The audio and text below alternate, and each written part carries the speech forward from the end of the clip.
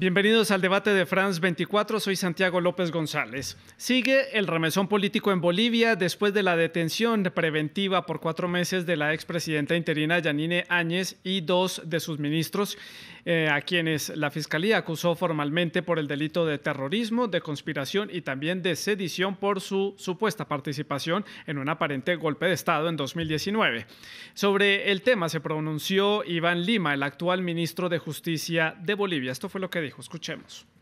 Que ha estado eh, en trámite y que ha desembocado una audiencia de medidas cautelares el día de ayer, al que usted se refiere, es realizado a la señora Áñez en su condición de ex senadora del Estado Plurinacional de Bolivia y abarca los hechos que han ocurrido hasta el momento que es investida por el general Calimán con el mando presidencial.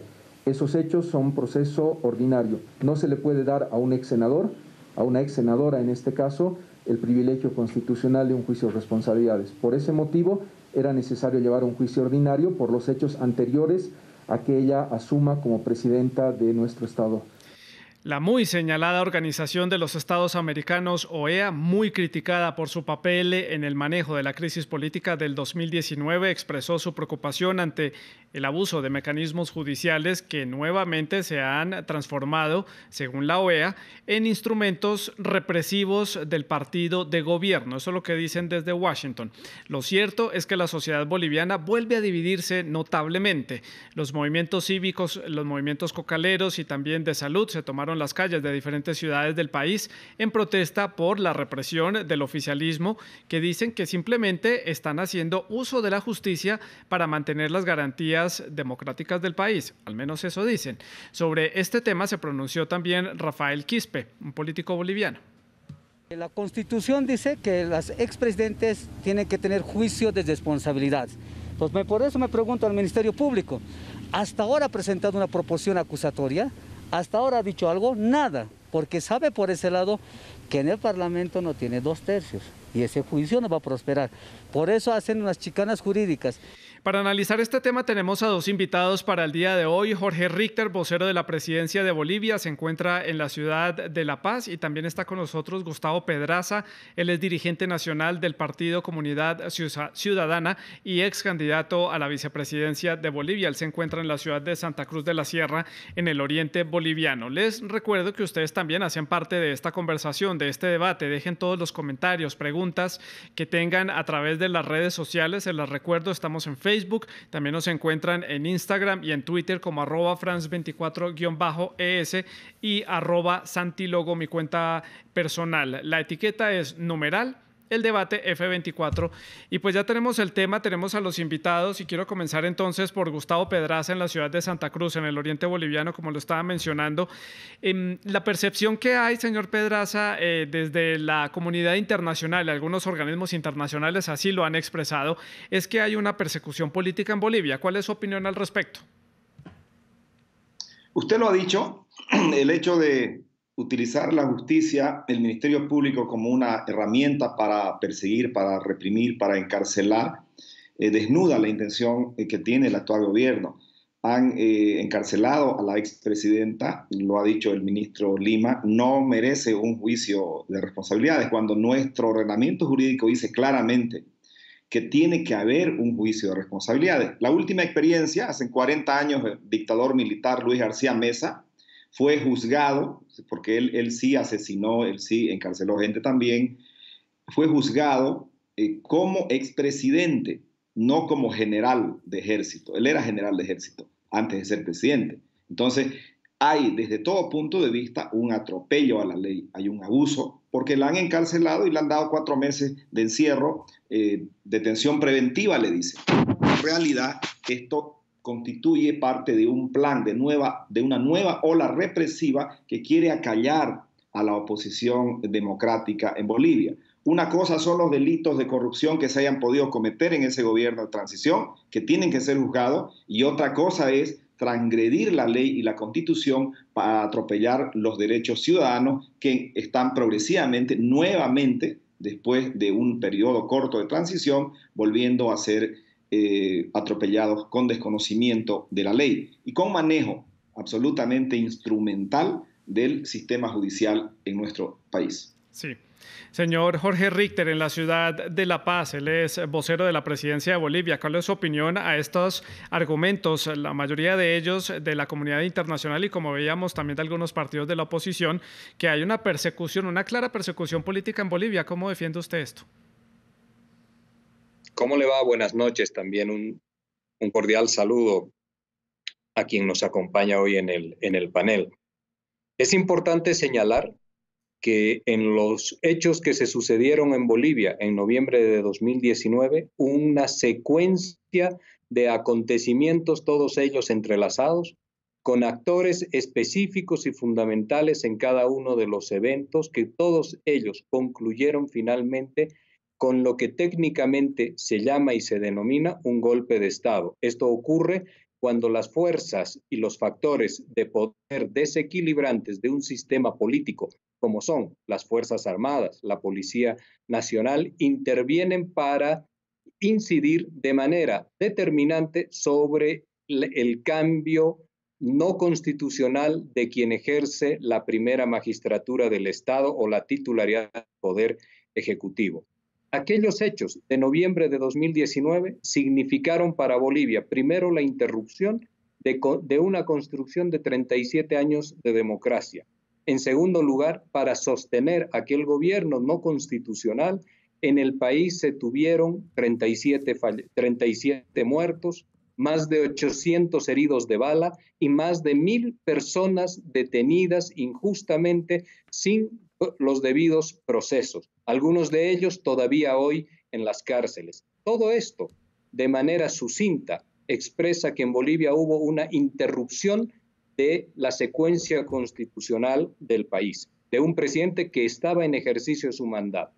Y en, y en, y en la construcción de sociedad, de Estado, de institucionalidad democrática, estos eventos de ruptura, de quiebre, de, las, de la secuencia constitucional, del mandato constitucional, del mandato popular a una persona, pues no puede, no deben ser aceptados, más aún si estos han generado situaciones de muerte como las que le he mencionado. En ese sentido, esto se debe investigar para poder dar un cierre institucionalizado también a lo que significa un quiebre de la institucionalidad boliviana, lo que el señor Vivanco, por ejemplo, ha llamado técnicamente un golpe de Estado. Señor Pedraza, ya le doy la palabra. Eh, sigo con el señor Richter en la ciudad de La Paz. ¿Qué quieren entonces ustedes hacer con este procedimiento judicial eh, eh, que ha generado tanta polémica en Bolivia? ¿A dónde quieren llegar ustedes? Lo que se necesita llegar de forma institucionalizada es poder cerrar los eventos que ocurrieron en noviembre de 2019, esta situación de golpe de Estado. Esto tiene responsables. Esto ha sido generado por personas que han prestado su nombre y su apellido a un accionar para romper el orden institucional del país. La construcción de la democracia es un tema complejo y no puede sufrir interrupciones porque a un grupo político o a un estamento social le viene bien querer cambiar por una vía no institucionalizada a quienes tienen el, mandato popular. Esto tiene que tener una investigación, tiene que, que es la etapa en la cual se encuentra. Es una etapa de investigación que dura cuatro meses para saber quiénes, quiénes participaron eh, de forma activa en, aquellos, en aquellas acciones, quienes la organizaron y quienes determinaron también el nombramiento de la señora Áñez para presidenta del Estado cuando la constitución política del Estado menciona todo el conducto de sucesión constitucional que camina por una vía absolutamente distinta de la que se realizó aquella vez. Sí. Señor Pedraza, su opinión al respecto. ¿Hay aquí entonces, eh, como dice el señor Richter, eh, la necesidad de cerrar un capítulo de inestabilidad a raíz de un supuesto golpe de Estado, como argumenta él, eh, claramente a raíz de un informe que presentó la OEA después de las elecciones presidenciales de noviembre, en donde argumentaban y decían y evidenciaban que había fraude en esos comicios presidenciales Em, un fraude que beneficiaba al presidente que buscaba reelegirse, Evo Morales, que luego pues vimos que abandonó el país y, generó parte de, esta, eh, de este vacío de poder que vio luego eh, Bolivia y lo llevó a esta inestabilidad. ¿Cuál es su opinión? Bueno, la OEA lo dijo con mucha claridad, usted lo dijo ahora también. La OEA dijo que fue fraude hizo un informe. El gobierno firmó un acuerdo para que la OEA haga una auditoría de esas elecciones. La OEA hizo la auditoría, emitió su informe el 10 de noviembre y dijo que había fraude. Y Evo Morales ofreció eh, otras elecciones. No se aceptaron otras elecciones porque el pueblo ya estaba en las calles eh, en rebelión popular contra el abuso, contra el desconocimiento de la ley, contra el fraude. Y por lo tanto vino la consecuente eh, renuncia de Evo Morales y de ahí vino un proceso de transición donde el Senado, la Cámara de Diputados, presidía el Senado eh, Eva Copa, militante del MAS, y bajo la presidencia del Senado de Eva Copa y también la presidencia de otro militante del MAS de la Cámara de Diputados, se da la transición y se designa a la eh, senadora Áñez como presidenta por un determinado periodo de 120 días. Cuando esos 120 días no, alcanzaron para la convocatoria de elecciones, ese mismo Congreso, presidido por el movimiento al socialismo, por Eva Copa, eh, como presidente del Senado, aprueba una ley donde prolonga el plazo de vigencia del gobierno de Yanine Áñez. Si hubiera sido golpe de Estado, si hubiera sido un gobierno de facto, ¿por qué entonces participó Eva Copa? ¿Por qué participó el Congreso para prolongar ese periodo de transición? Entonces ahí estamos viendo eh, eh, eh, irrefutables evidencias de la constitucionalidad de este proceso. Lo que no dice mucho el partido de gobierno es que el encuadre histórico de este fraude tiene sus antecedentes en la primera ruptura constitucional que Evo Morales comete el 21 de febrero del 2016. Se hace un referéndum para que el pueblo boliviano apruebe o desapruebe la elección o la probabilidad de candidatura de Evo Morales porque la constitución ya lo prohibía. Se manifiesta el pueblo boliviano y se aprueba el no la mayoría dice que no puede ser candidato Evo Morales, pero sin embargo él desconoce el resultado de ese referéndum, la primera ruptura de la constitución que comete Evo Morales y posteriormente forza una sentencia constitucional, la 084-2017, mediante la cual habilita como candidato, desconociendo el resultado del referéndum. Entonces, estos son los antecedentes del fraude. Se da la elección, va perdiendo Evo Morales y ahí es cuando entra el proceso ya de ruptura, se paraliza el sistema de conteo rápido y sin duda alguna el fraude se consolida, así lo informa la OEA en una auditoría y de ahí se desencadena el, alzamiento popular y viene lo que hemos mencionado, esta transición constitucional.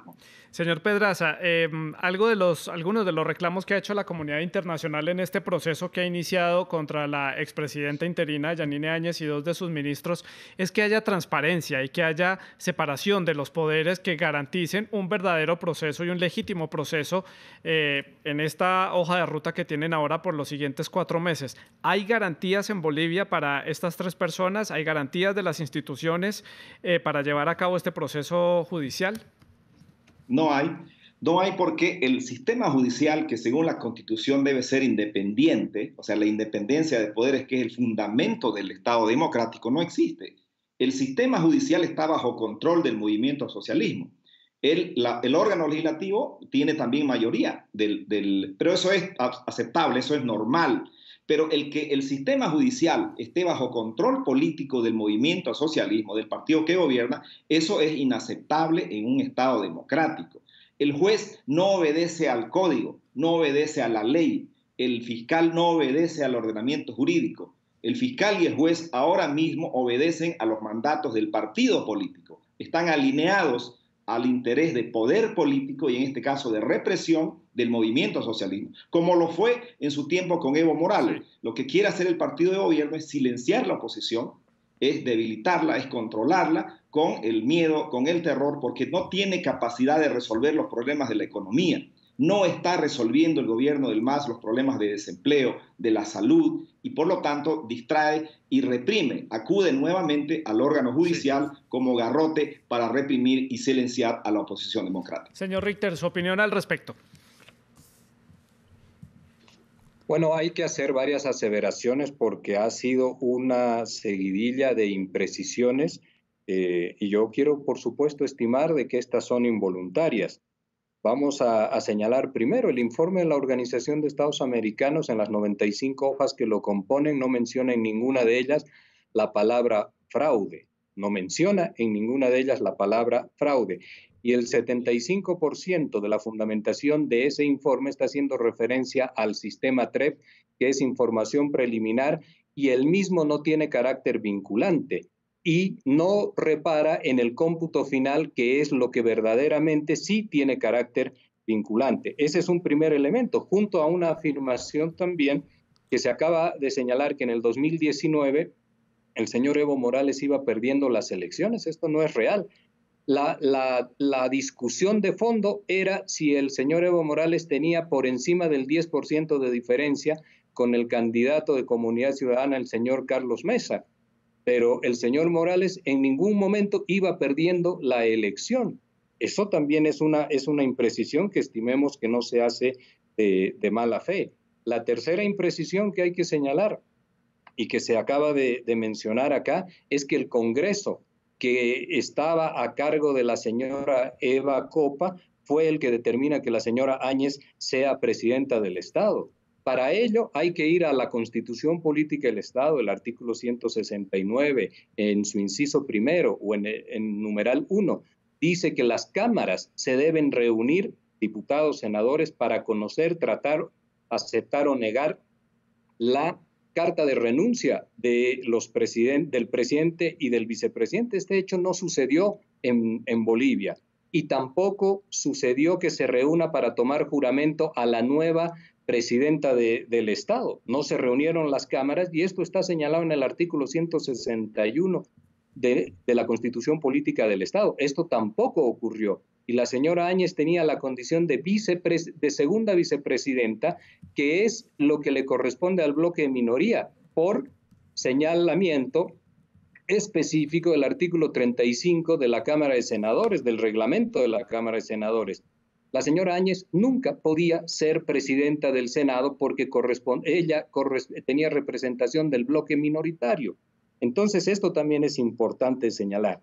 Y la última imprecisión que se acaba de decir es que hay una persecución porque en el país el, presidente y el gobierno nacional no pueden resolver el tema de salud, desempleo y economía. Déjeme decirle que en esta, en esta gestión se tiene la solución, se está trabajando y se tiene implementada ya, no es una promesa, de la solución estructural en el tema de la pandemia que viene a través del proceso de inmunización en el país que Bolivia ya lo ha comenzado. No hay más allá de eso, no hay otras opciones fuera del proceso de inmunización. Esto lo estamos implementando. Y en el desempleo, le tengo que señalar que el día de ayer en el periódico El Deber ha salido un, medio que no es, permítame por favor, un medio que no es afín al gobierno, ha salido que la tasa de desempleo en números redondos ALBA se ha reducido del 11% al 9%. Esto está en el periódico El Deber el día de ayer.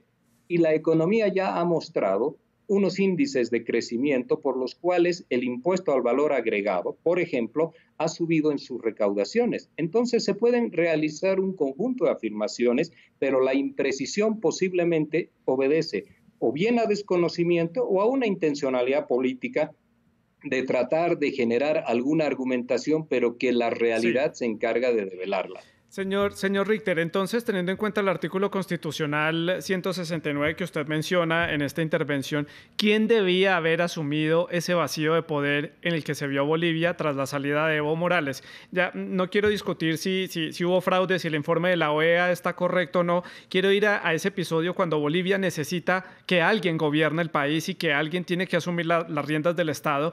¿Quién entonces tenía que haber asumido esas riendas? La constitución política del Estado es clara y en el artículo 169 dice que en caso de impedimento o ausencia definitiva del presidente, este debe, debe ser reemplazado y ahí establece una línea de sucesión que pasa por el Senado y que pasa por la Cámara de Diputados. Si las autoridades, las presidencias de estas cámaras habían renunciado, lo que le correspondía en todo caso, si tenía que hacer algo la señora Áñez, es reorganizar la directiva de la Cámara de Senadores para establecer el cargo de sucesión. Y esto es lo que no se dio. Por ello, pregúntese siempre usted, por ello es que no se reúnen las cámaras para tratar las cartas de renuncia, para tratar también la recomposición de las directivas, porque si hubiese sido el caso, hubiese este recaído conforme a lo que dice el reglamento de cada una de las cámaras en el bloque mayoritario. Y esto hubiese señalado que el movimiento al socialismo hubiese preservado en su poder todavía la presidencia de esas cámaras y, por supuesto, la sucesión constitucional. El hecho de fuerza impidió también que se reúnan estas cámaras, impidiendo que los, los parlamentarios pudiesen llegar al recinto, al recinto legislativo y por un hecho de fuerza también, incluido el secuestro del hermano del presidente de la Cámara de Diputados, se logró que éste eh, presentara su renuncia. Esta es una situación de fuerza y son un conjunto de elementos que generan la ruptura para que la señora Áñez, finalmente a quien no le correspondía, arrogándose un cargo que tampoco tenía como presidenta del Senado, y lo dice un día antes en la cadena Unitel, que ella es presidenta de Senado y en esa alusión evoca al general Calimán, del eh, comandante de las Fuerzas Armadas, para que intervenga. Hay una usurpación de funciones y, hay, y está el arrogarse un conjunto de poderes que no había, eh, para los cuales ella no había sido designada. Señor Pedraza, ¿qué dice usted al respecto entonces? Bueno, está clarísimo. El orden de sucesión, si renuncia la presidenta del Senado que le correspondía por la renuncia de Evo Morales y de Linera. Renuncia el presidente de la Cámara de Diputados.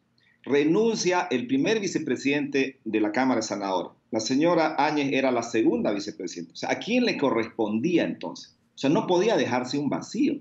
Y por eso asume y el Congreso reunido acepta esa decisión.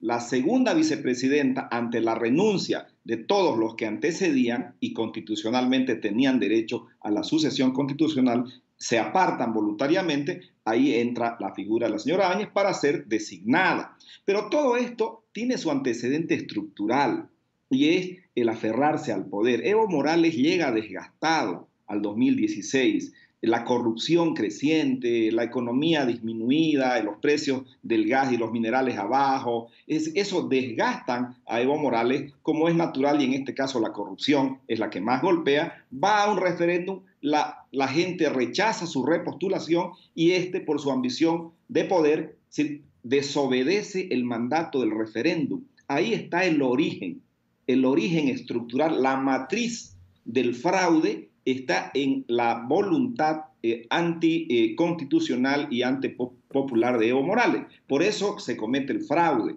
por eso se desobedece el referéndum, se forza una sentencia constitucional, se comete el fraude, ¿no? Encadenamiento de paso para quedarse en el poder. Y ante esa acumulación de indignación, el pueblo boliviano sale a las calles sale a las calles y en 21 días logra, como nunca hubo tanta movilización, logra una renuncia, una renuncia voluntaria. Y no fueron solamente la policía o los militares los que pidieron la renuncia, fue la Central Obrera Boliviana, la Central Obrera Boliviana, la Defensoría del Pueblo, muchas organizaciones sociales le pidieron que renuncie. La gente en las calles le pide que renuncie. Entonces, no es el pedido de un grupo militar. Es una acumulación de indignación que hay en la ciudadanía boliviana contra el atropello. Y eso es lo que se vivió el 2019. Y obviamente ese proceso de transición donde hubo un gobierno que cometió corrupción, que la cometió y que debe ser investigado y juzgado por eso. Nadie está defendiendo la gestión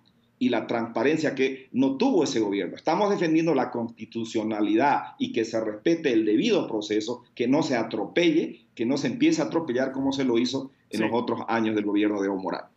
Señor Richter, usted ha dicho que ese gobierno interino o transitorio de Yanine Áñez es un gobierno que no es constitucional, pero este gobierno fue el que convocó a unas elecciones en las que salió elegido Luis Arce como nuevo presidente de Bolivia. Entonces, ¿estos comicios no tienen validez? Luis Arce está usurpando el poder en unos, en unos, mm, a, través de un proceso de votación que no es legítimo? Mire, eh, lo primero es señalar que esa interpretación que dice el señor Pedraza es inexistente en lo que hace a la sucesión constitucional. La constitución política del Estado, que la tengo, que la tengo acá, no señala que la línea de sucesión constitucional vaya hacia las vicepresidencias. Eso es absolutamente inexistente, no tiene consistencia. Y como no tiene consistencia, por supuesto, después hay que ir hacia otros argumentos y empezar a hablar del tiempo pasado para tratar de construir un relato que avale la conducta que asumieron las personas que prestaron su nombre y su apellido para gestar la eh, acción de ruptura institucional. La constitución y la sucesión constitucional, de acuerdo a, nuestro texto eh, constitucional, está absolutamente clara y pasa por otra vía, no por la que se acaba de señalar. Eh, lo que usted me preguntaba, lo otro, los países han tenido, diversos países en la región han tenido gobiernos dictatoriales. Ahí le quiero decir algo. ¿Qué ocurría en Bolivia el 23 de agosto del año 1972? Pues el entonces dictador Hugo Banzer Suárez, en Consejo de Ministros, decretó que se apruebe y se promulgase como leyes de la República el código de familia, el código de comercio, el código penal pero y el código se está de yendo muy atrás y yo necesito, necesito concluir rápido el programa porque me quedan pocos minutos. Le repito la pregunta. si Luis Arce fue elegido en un proceso electoral que fue convocado por un gobierno que ustedes no reconocen como constitucional, entonces ¿dónde queda ese proceso electoral y esa presidencia? Lo que le quiero decir es que los gobiernos, los gobiernos que no son constitucionales como el de Hugo Banzer Suárez, generan una cantidad de normas que se instalan en el país. O, o, aquel código de familia que ha casado a muchas familias bolivianas ha sido anulado. No, este conjunto de normas, producto de la crisis política, conjunto de normas son la ley de excepción para la convocatoria a elecciones, fue la solución política para que el país pueda retornar a la normalidad constitucional. Y la ley 1270 de extensión de mandato, en su artículo primero Señor Richter, no me está respondiendo la pregunta, eso no es el punto al que quiero llegar. Quiero llegar a que usted me, me, me hable sobre la presidencia actual. Entonces, un gobierno no constitucional convocó a unas elecciones que no son constitucionales y hay un presidente que está asumiendo el poder que fue elegido bajo un gobierno no constitucional. Si usted tiene una crisis política, ¿cómo la resuelve? En esa crisis política se tiene que estructurar una salida y esa salida es la arquitectura y la normativa para que se pueda devolver el camino institucional al país. Esto es absolutamente necesario. Las crisis políticas se tienen que resolver y esa resolución hemos tenido la fortuna de que la Asamblea Legislativa haya seguido en funcionamiento para aprobar leyes. No, Pero una, y una forma de solucionar una crisis no es ver desde un lado de la moneda que el gobierno no es constitucional cuando no les conviene, pero cuando ya están en el poder, entonces sí es válido el poder que tienen en ese momento. Eso sí es un, es un la punto que Áñez eh, podemos reflexionar su opinión. Eh, señor Pedraza, en la ciudad de Santa Cruz, ¿qué piensa al respecto? Bueno, usted lo ha dicho, es decir, eh, una cosa es una norma eh, especializada y una cosa es el, el, de dónde emerge el poder del, del, del presidente Arce. Es decir, si ellos consideran de que ese gobierno fue de facto, de donde emerge todo el proceso electoral, porque se cambiaron los jueces electorales, o sea, se cambiaron los tribunales electorales departamentales nacionales. Si este eh, gobierno actual dice que el proceso de transición fue de facto, entonces debería renunciar y reiniciar de nuevo. Todo, todo lo que sucedió prácticamente, según ellos, no está eh, en el marco de la constitución política. Ahí no hay coherencia ahí no están haciendo, no están siendo coherentes. Es anticonstitucional y en golpe cuando les conviene. ¿Y qué es lo que quiere el MAS? Lo que quiere el MAS es rehabilitar políticamente a Evo, rehabilitar políticamente su proceso de cambio, mostrarle al mundo de que no hubo errores, de que no hubo corrupción, cuando en realidad sí lo hubo. Hubo atropello, hubo autoritarismo, hubo desconocimiento de la voluntad del, del referéndum del, del 2016. Entonces, tiene que admitir el MAS de que hubo errores, hubieron fallas, hubo desgaste y se salieron del marco democrático. Entonces, ¿qué tiene, qué tiene que hacer? Dejar que la historia sea, la real sea evidente. Quieren construir una historia oficial sobre una historia real, la historia oficial del golpe, cuando la historia real es fraude, la historia oficial del proceso de cambio exitoso, cuando la historia real es fracaso, es abuso, es atropello, es exclusión sí. de los mestizos, tratando de que el indígena esté en el centro cuando en realidad sigue excluido en el campo de la economía. Entonces, la historia oficial está inventada, está construida sobre la base del poder absoluto y la historia real la vive la gente todos los días y la estamos viviendo ahora con los atropellos que ha empezado a cometer el movimiento social. Señor Richter, tengo muchos temas para, para, para, preguntarles, eh, pero me quedan ya poco más de tres minutos para, para cerrar el programa. Quiero hacer la conclusión y quiero comenzar con usted.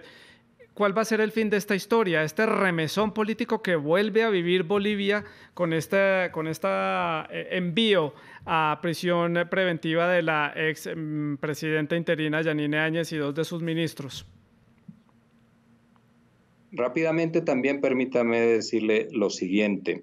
Con todo ese relato de, de, corrupción y de violación de derechos, etcétera, y de fraude y de fraude que repiten incansablemente, un año después de todo lo que señalan, el movimiento al socialismo obtiene una victoria histórica de 55% y el candidato del señor Pedraza, el señor Mesa, que también participó del golpe de Estado, baja su votación en 10 puntos. Mire usted el premio y la contradicción.